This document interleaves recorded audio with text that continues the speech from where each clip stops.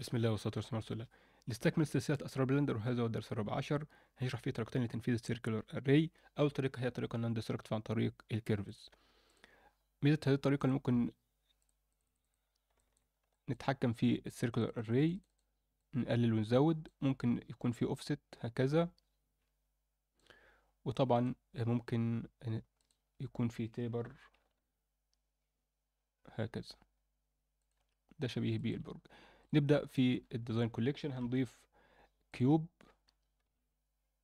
و scale في ال X اتنين هذا ال cube هنضيف ليه bevel بعد ذلك هنضيف circle ونضغط S scale وليكن سبعة أو تمانية هضيف لي بعد ال bevel array هضيف هنا تلاتة أو أربعة واضيف بعد كده curve وطبعا هنستخدم هذا ال curve دلوقتي ممكن نزود ال array هكذا. نضغط scale في ال X بهذا الشكل. بعد كده هنضيف array أخرى. طبعا هنا في ال Z هيكون واحد وهنا في ال X صفر والارتفاع وليكن اتناشر. هنا طبعا لو لو ال cube يكون ماشي مع ال circle يكون curved smooth أكتر فطبعا هنقول هنا ده subdivision وده كده بالنسبة لي المكعب نفسه. هنعمل هيكون فيها subdivision بحيث يبقى smooth مع ال curve ونضيف هنا ال normal smooth ده كده ممتاز جدا. باقي إننا نضيف لو عايزين نضيف هنا طبعا لو ده مثلا برج فهنضيف هنا الاوفست ف في ال second array ها هنا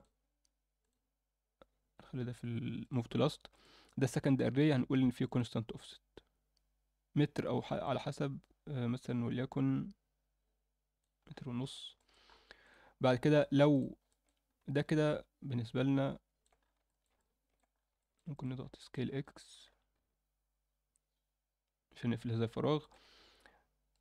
لو المطلوب إن نضيف taper خلينا نضغط scale shift D ف هنضغط control T و taper هكذا. فاذا ده طريقة إنشاء circle array ممكن نستخدمها طبعا في تصميم أبراج بهذا الشكل. طيب في طريقة أسرع ولكن destructive.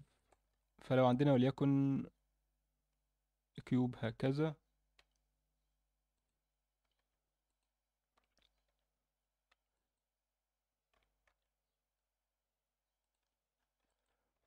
والمطلوب إن نضيف circular array فبننزل ال edit mode control E spin العدد وليكن ستاشر والزاوية تلتمية وستين لأنها تكون circle array لو مية وتمانين فهتكون نص زاوية هكذا.